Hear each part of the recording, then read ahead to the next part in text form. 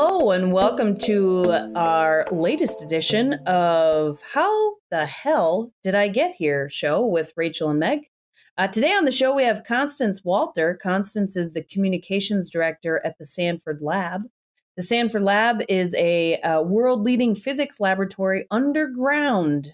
Um, my estimation of what happens at the Sanford Lab in a very non sciency way is they send uh, particles that we don't know exist actually um, through the Earth's core to another make a made up lab in another place underground near Chicago. Uh, so, um, so Constance is responsible for a really important thing up there, making up all these stories to share with the public.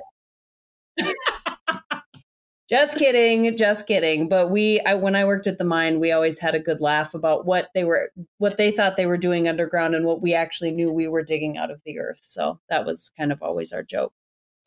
Um, so Constance has had lots of opportunities in her career. Uh, one of which I just can't uh, help but uh, talk about a little bit is she got to meet one of her childhood science heroes, Buzz Aldrin. That is way cool.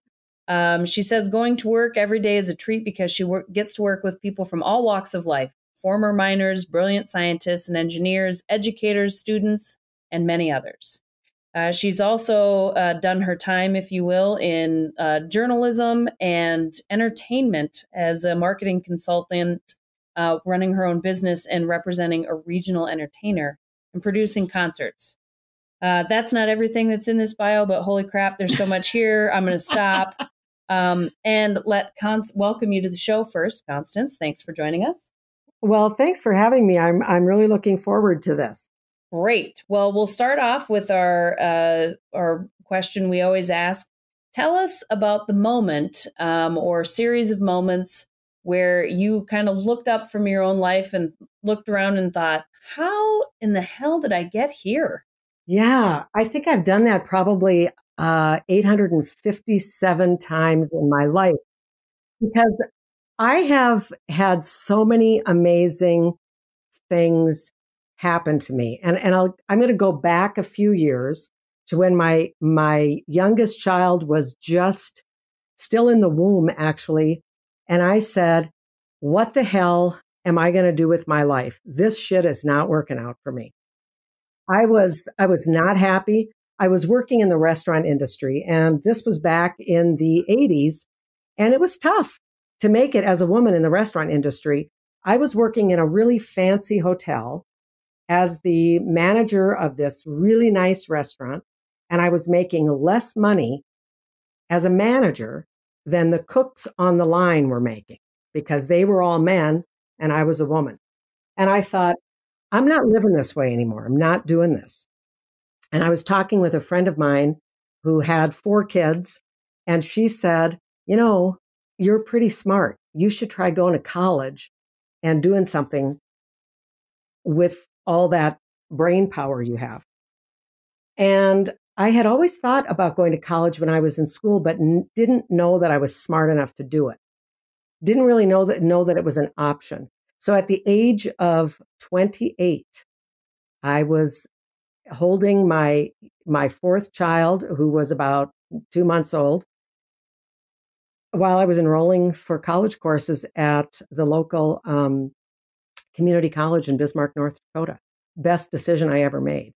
So that was that was probably the greatest aha moment I ever had was you can do better than what you're doing and you can accomplish more than what you have.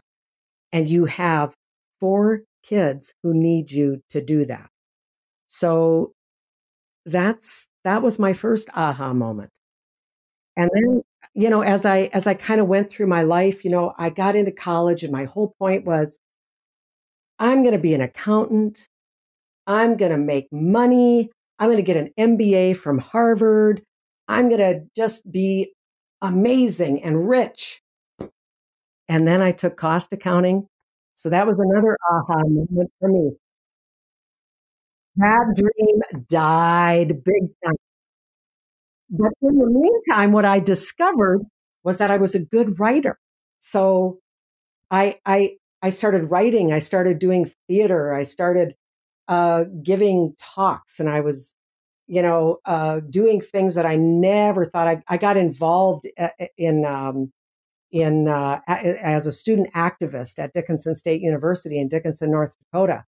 Uh, there was um, this leftover sort of, not sort of, it was a very racist um, uh, homecoming ceremonial, the vestiges of their days as the savages. And uh, I got involved with a with a group of of people, and and we said we are not going to be a part of this. We are going to make a change. We're not just going to pretend it doesn't exist anymore.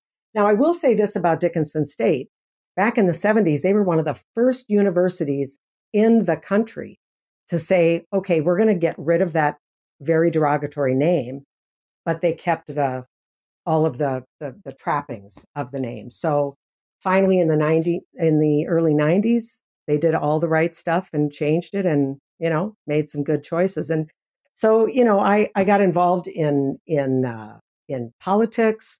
I got involved in all sorts of different things, and and found that I had a lot more talent than I ever knew I had. So, yeah, another big aha moment. I I love it. I um wanted to share because I know you personally. Um, I uh, love the the how the hell did I get here moment that I personally know about Constance, which oh. is um when you go underground just back so you, in the just day. so you know folks this is a story also uh will be a surprise to constance because oh, yeah. rachel did not tell did not it. prep her and meg has never heard it i've never so it's a big story. surprise oh, oh constance will recognize the story sure. once i start down the path so um, well, so the lab that that Constance works at right now is almost a mile underground, and I don't know if things have changed, but when Constance first went up to work there, um, if you went out of the populated areas, there was nowhere to pee.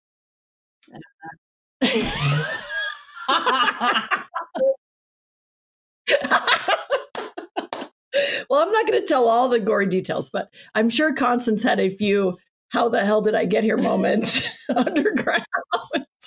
Yeah. And and I'm not, you know what, at my age, I I just lay it all out there. I'm not afraid to talk about it. But yeah, I was disgusted. Uh, and, and I will say this, Rachel, this was one of the funniest things because I remember we were walking through yet another dank, dark place.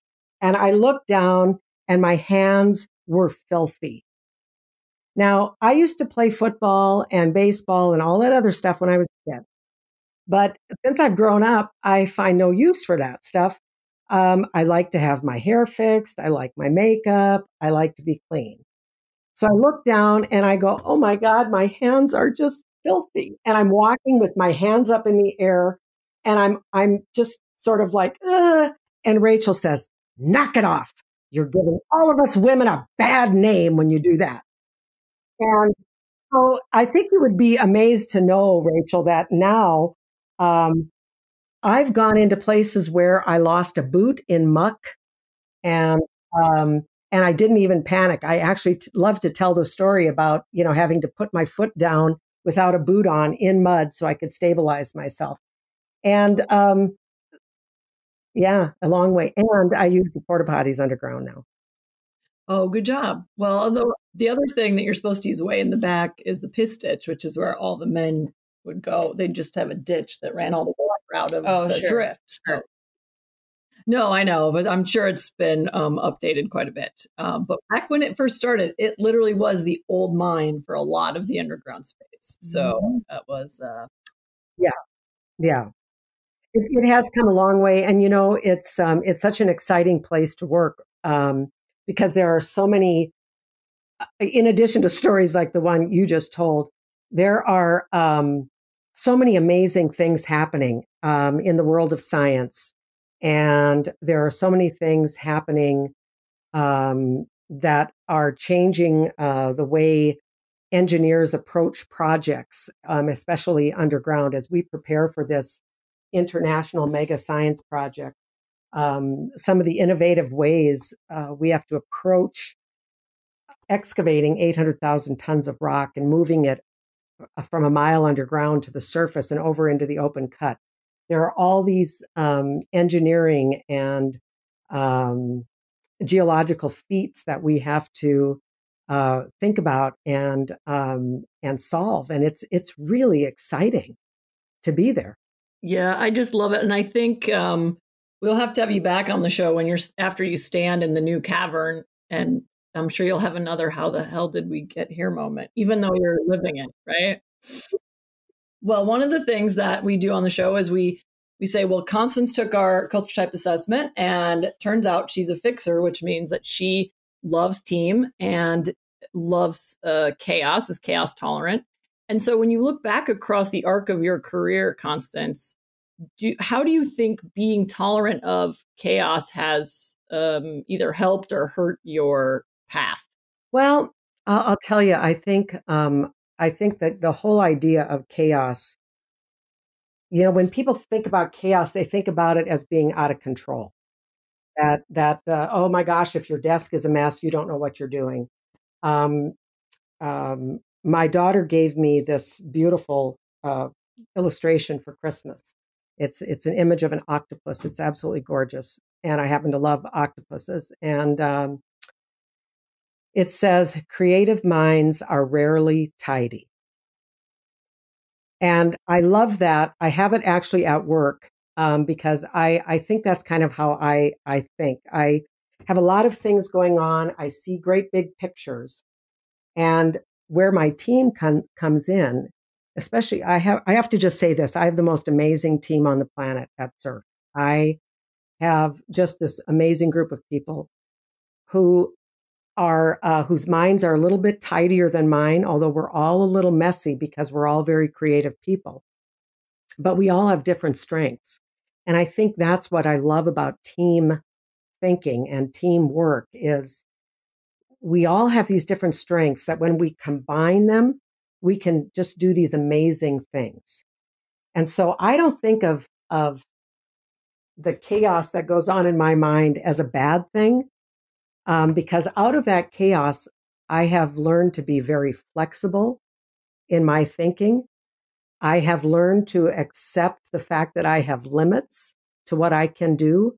I have learned um, to understand better what I can do and when I need um, the help of other people. And I have also, I think, from that learned to really appreciate all the uh, wonderful gifts that other others in my on my team have brought to uh, this project.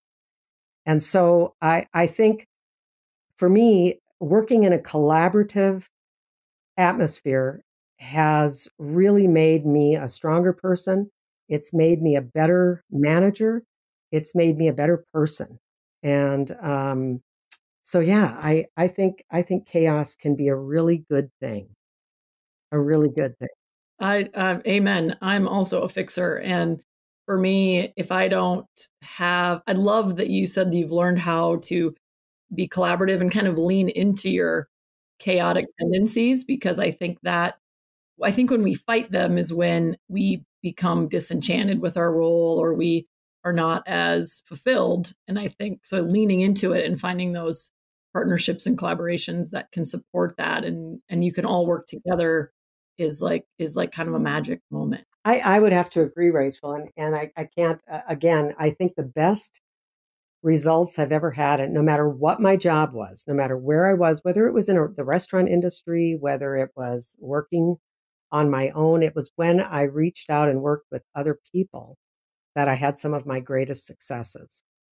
And i i like to think that it um, it has benefited them as well.